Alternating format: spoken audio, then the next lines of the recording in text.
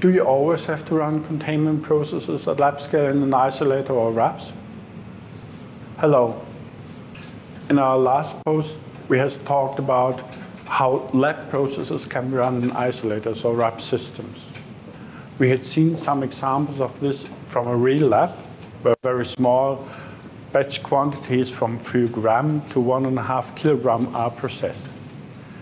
In the range of approximately 100 gram to 5 kilogram batch size, it is possible to run without isolator. The multi-lab is perfect system for that. Here, next to me, we see the multi-lab in containment execution. As the name says, you can run different processes on the multi-lab. It consists of the so-called main module, which contains the control system and the general process technology and the process modules. Here, the GPCG lab is connected to the main module. On it, you can run such different processes like the fluid bed drying process, the Wurster process, in which pellets can be coated with either active ingredients and layering or coated with a film coating, a top spray fluid bed granulation process, a rotor process for certain pellet processes, and the combined wet granulation and drying process in one machine in the TwinPro lab.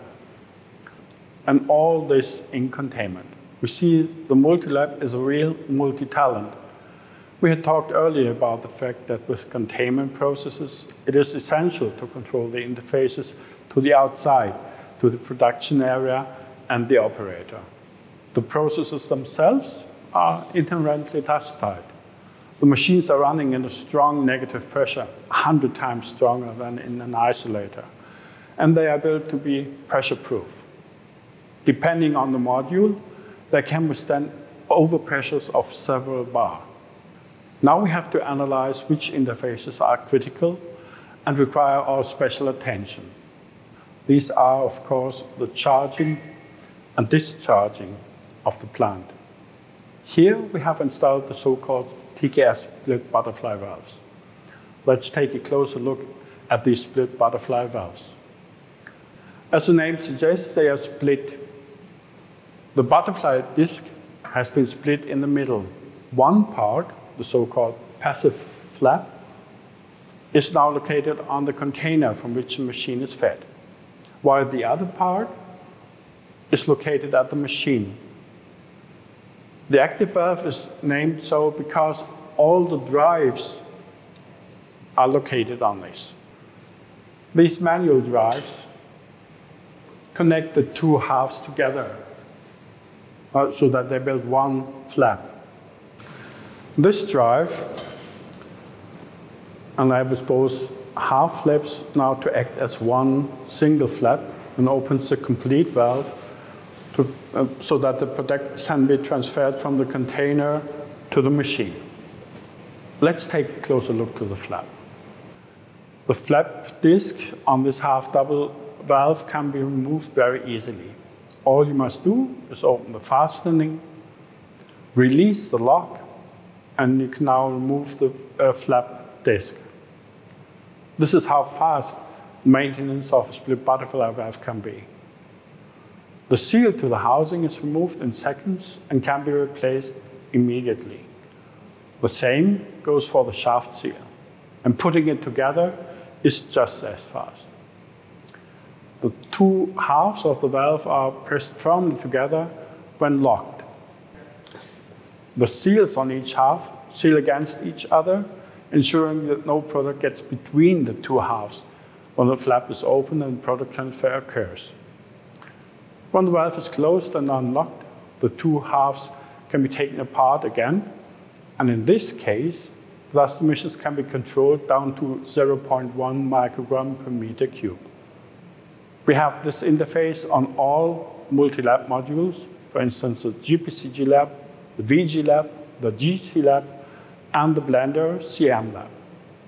All of these modules, loading and un unloading, is done in this way.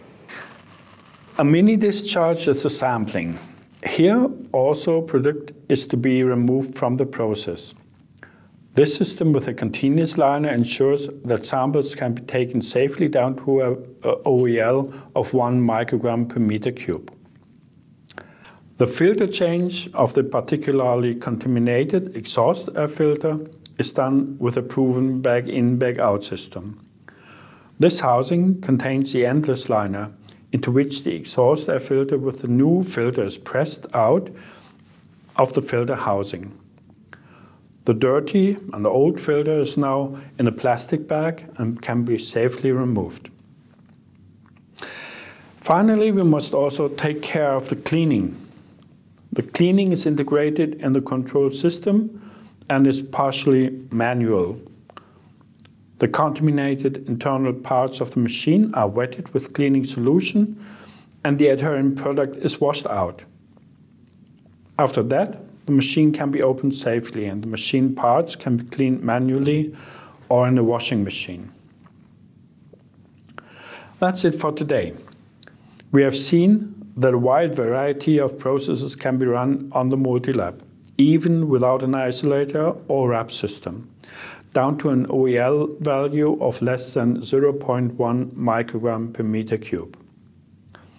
It is a matter of designing the interfaces to the outside accordingly. After that, everything is the same as in a standard process.